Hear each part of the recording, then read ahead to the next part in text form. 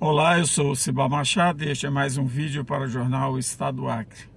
Bom, este episódio da fala do presidente Lula durante sua visita à Etiópia, é, comparando o genocídio que o governo de Israel pratica contra o povo palestino, na minha opinião, é uma fala, para cima de tudo, humanitária.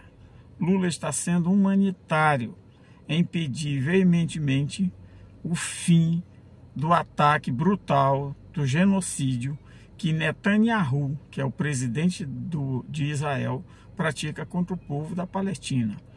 A reação de Netanyahu contra Lula é politiqueira, é politicagem, que quer todo mundo a seus pés, dizendo que o genocídio que ele pratica contra um povo indefeso, sem nenhuma condição de reação, passando fome e sede e necessidade, e ele chama aquilo de guerra e quer que o Brasil e todo mundo apoie isso.